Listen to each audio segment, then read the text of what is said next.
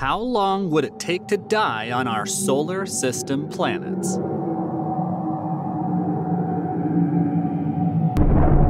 Our oxygen rich planet is the only place in our solar system that has the right conditions to support us. However, the remaining planetary systems just seem almost beautiful and intriguing to resist. What would happen if humans went to the other planets in our solar system? And more importantly, how long would we survive in them? I'm sure you're not one to back away from a challenge. Join us as we embark on the most intriguing and dangerous journey of your life as we explore just how long our solar system planets will support human life. Strap on your seatbelts and let's go. The first planet we'll be dropping by is Mercury, which is the smallest and closest planet to the Sun. But if you thought this translates to the hottest planet in our solar system, you couldn't be more wrong because Venus comfortably holds this spot. Venus will have to wait its turn because we're yet to even land on Mercury. The time span you would survive on Mercury pretty much depends on where you land. If you land on the hot surface where temperatures go as high as 430 degrees Celsius or 800 degrees Fahrenheit, you'd pretty much be cooked porridge before making a successful landing. Your chances of survival aren't that much better if you land on the dark side, with temperatures dropping as low as negative 180 degrees Celsius or negative 290 degrees Fahrenheit. However, if you are lucky enough to land in between both temperatures and find a surface area that's kind of in between, you pretty much have a greater chance of survival, which is just as long as you can hold your breath, unfortunately.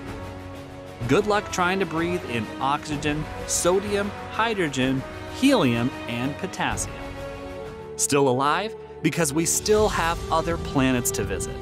The next planet on our voyage would be Venus, which holds the trophy as the hottest planet in our solar system. Venus might be Earth's twin, but it is in no way as hospitable as our home planet. The two planets are, of course, similar in size, composition, gravity, mass, and density, but that's just as close as they get. Plus, they might also have almost the same exact quantity of nitrogen.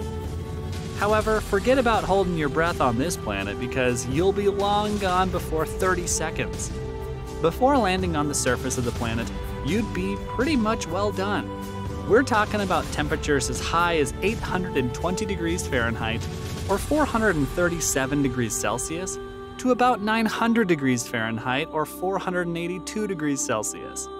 Forget about the availability of water on this planet because it boils away any drop of moisture on its surface. Yes, it might have had water in the past, but since it became susceptible to a runaway greenhouse effect, well, goodbye moisture. But if you're in great luck and you go through this strangely cold region, which is about 78 miles above the Venusian surface, you might have a couple of seconds before being exposed to the dense carbon dioxide atmosphere on the planet and temperatures as low as minus 175 degrees Celsius or minus 238 degrees Fahrenheit.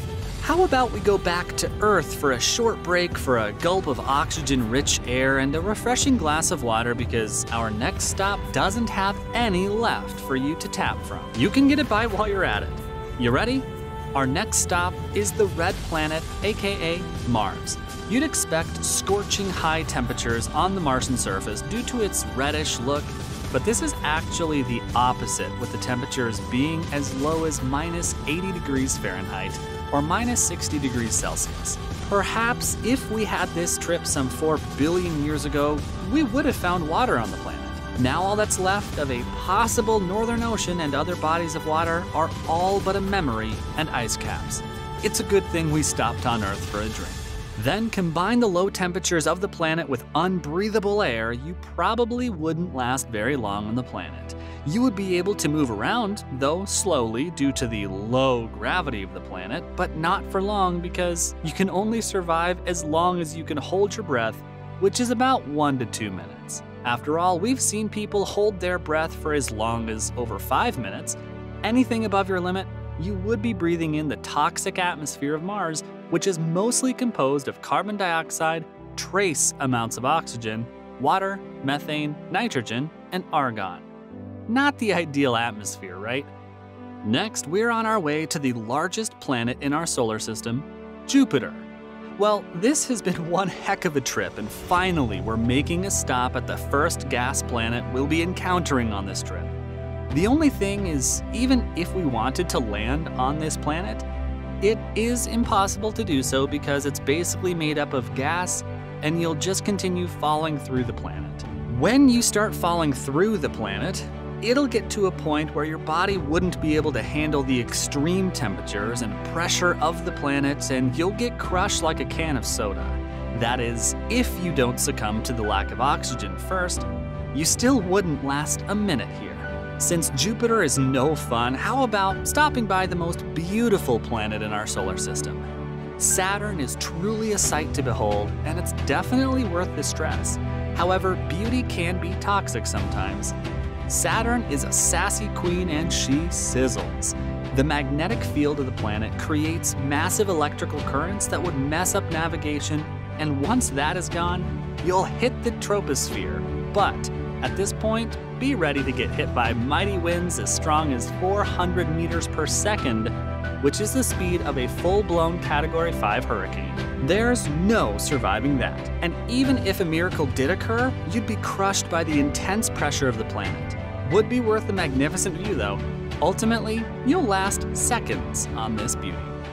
Saturn might not like the visitors, but one of her moons might be a little bit more receptive. Yes, we're talking about the second largest moon in our solar system, Titan.